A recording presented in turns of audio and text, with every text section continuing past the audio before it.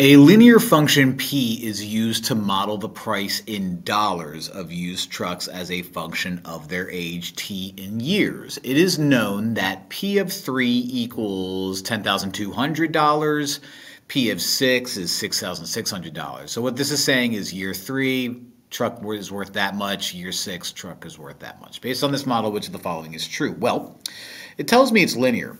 So any of this percentage stuff isn't going to be linear because what you're doing is every year you're taking a percent of the current cost and decreasing it by that much, which means it changes over time.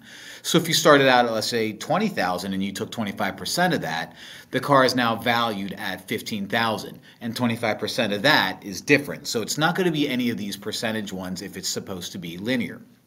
So we need to figure out if this goes down by uh, 1800 or 1200. Well, let's do this.